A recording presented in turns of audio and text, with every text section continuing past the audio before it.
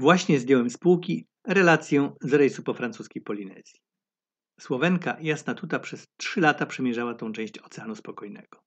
Dokładnie tak długo, jak pozwalają tamtejsze przepisy, bez konieczności załatwiania dodatkowych formalności.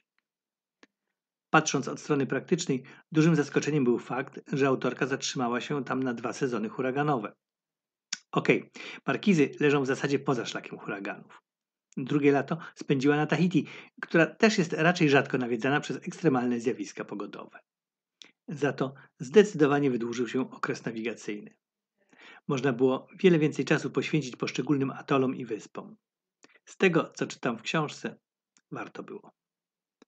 Podczas gdy przeciętni kruizerzy poświęcają na zwiedzanie jednego atolu kilka dni, Jasna zatrzymywała się nawet miesiąc.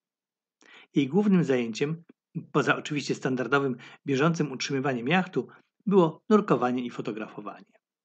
Już choćby dla zdjęć i opowieści z podwody warto zapoznać się z tą książką. Drugim motywem przewijającym się przez jej strony są napotkani ludzie. Zarówno ci z jachtów, jak i tamtejsi mieszkańcy, i to tak samo rdzenni, jak i napływowi. Przy okazji, jakby ktoś miał ochotę, można barwy Polinezji potraktować jak przewodnik.